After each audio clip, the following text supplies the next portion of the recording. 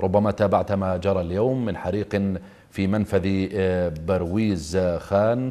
15 شاحنة احترقت. برأيك هل هو حادث مفتعل أم عرضي؟ تحية طيبة لكما. تحية لمشاهدي قناتكم الكرام. في البداية حقيقة يجب أن نثبتها. كل عمليات تهريب النفط التي تجري في العراق على فتوى بأنه مجهول المالك حاله حال المطر الذي يتساقط. هذا شجع كثير من الفاسدين والمفسدين لاستغلال هذا النعمة هذه النعمة التي أنعم الله بها على الشعب العراقي ولم يستفد منها. كل عمليات التهريب التي تجري في جنوب العراق وفي غربه وفي شماله تجري من قبل متنفذين في هذه الدولة مسؤولين أو أحزاب أو حتى ميليشيات.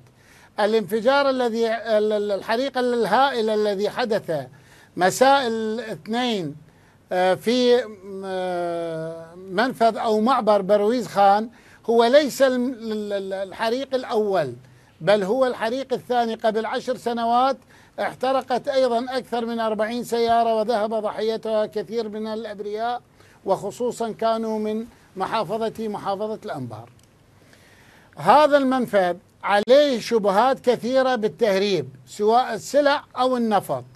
التهريب بآلاف الشاحنات النفط التي تصل إليه من حقول باي حسن في كركوك وثم تذهب إلى السليمانية ومنها إلى مصفى بازيان ومن عندها تخرج إلى إيران ومن إيران إلى الباكستان وأفغانستان. ما فضح هذا المعبر أيضا هو الشحنات التي رفضتها طالبان في أفغانستان لرداءة المنتوج.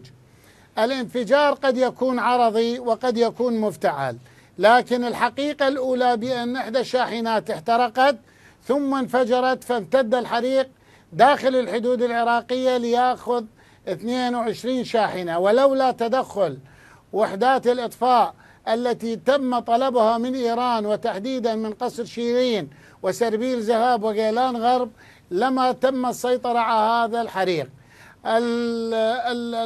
الحريق والمنفذ هو في منطقة كرمنشاه التي ترتبط مع الإقليم ب 371 كيلومتر. لديها معبرين رئيسيين وخمسة أسواق حدودية لتبادل البضائع أو لتهريب النفط وغيره.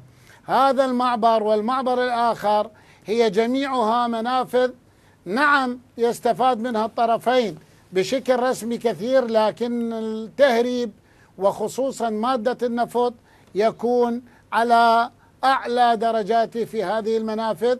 أنا أرى هذا إن كان مفتعلا فهي رسالة إلى المنفذ بجهتيه العراقية والإيرانية بأنكم تجاوزتوا الحدود كثيرا بتهريب النفط وإن كان مفتعل وهذا وارد جدا لسبب عدم وجود آه، تعليمات الصيانة والأمان متوفرة لأن هكذا منافذ. لو كانت رسمية لما حدثت هكذا حرائق ولا ولا امتدت. والتدخل الإيراني كان هو خوفا من أن توصل النيران إلى آلاف الشاحنات الموجودة بالجانب الإيراني التي تنتظر أما تستلم أو تدخل أيضا لاستلام آه، الوقود النفط بكل مشتقاته.